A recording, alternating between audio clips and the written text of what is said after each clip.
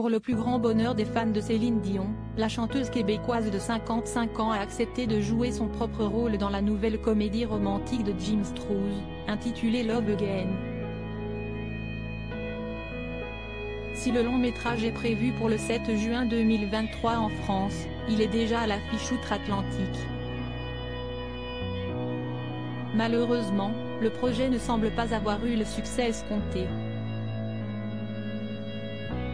La preuve Le Journal de Montréal a révélé, ce lundi 8 mai, que le film a été démoli par le magazine Variety, qui est l'une des références en matière de critique cinématographique.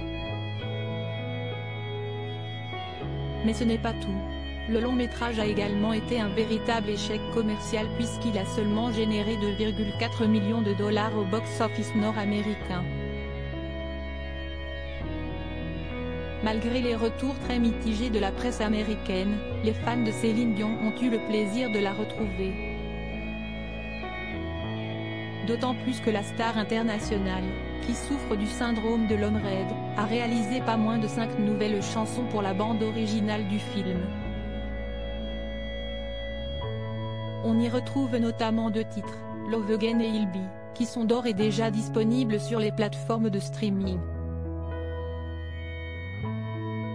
De quoi faire patienter les futurs spectateurs du film.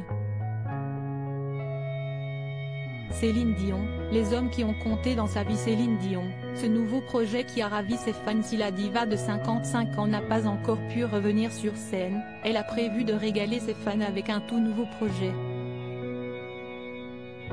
Cette fois, Céline Dion a accepté de se confier à Laurence Catino-Crost, une célèbre écrivaine, dans le cadre d'un récit biographique officiel. La sortie de ce nouvel ouvrage, qui sera baptisé Céline Dion, encore une larme de bonheur, est prévue pour le 23 août prochain.